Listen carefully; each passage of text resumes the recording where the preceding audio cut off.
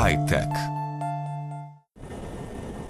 As florestas absorvem grandes quantidades de dióxido de carbono, um processo natural que ajuda a diminuir a quantidade de CO2 na atmosfera. Cada hectare de floresta é capaz de absorver entre 150 e 200 toneladas de carbono. A quantificação do carbono é uma etapa importante na gestão florestal e no combate ao aquecimento global. Normalmente, a medição é feita através do corte e da pesagem das árvores, uma universidade londrina desenvolveu uma nova técnica baseada num scanner a laser que permite criar um mapa florestal a três dimensões. A pesquisa está a ser realizada no University College, em Londres.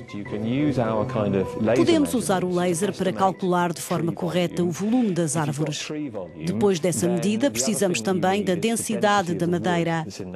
Com o volume e a densidade, podemos estimar a massa das árvores. Graças ao scanner a laser, calculamos o peso das árvores.